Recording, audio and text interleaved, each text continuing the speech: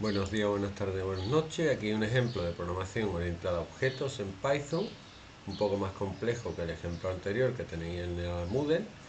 Y ahí hemos creado una clase que se llama número complejo. ¿Vale? Siempre hay que inicializar y un número complejo tiene dos propiedades, la parte real y la parte imaginaria. Cuando creamos un número complejo, la parte real del mismo es lo que le introduzcamos cuando llamamos al constructor parte real y la parte imaginaria va a ser eh, lo que le mandemos al constructor. ¿vale? Aquí tenemos un ejemplo de creación de un número complejo al que hemos llamado número y aquí llamamos al constructor de la clase. Número complejo 3, 4, pues esto sería 3 más 4i.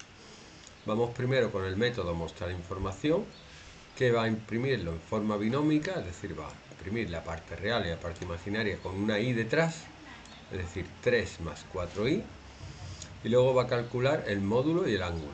¿vale? Ahora veremos cómo, pero luego imprime el módulo y el ángulo. ¿Ok? En forma polar. Bueno, eh, la el método fundamental que es pasar de binómica a polar. Lo que hace la raíz cuadrada de la suma de los cuadrados de los dos componentes, de la parte real y la parte imaginaria, que eso sería el módulo, y el ángulo radiano lo calculamos el arco tangente de la parte imaginaria partido de la parte real. ¿Vale? Esta es una función arco tangente 2 que calcula el arco tangente sabiendo la cateto opuesto partido cateto continuo. ¿Vale?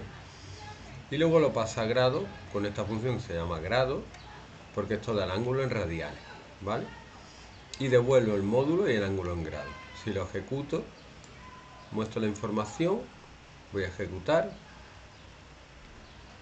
clase complejo.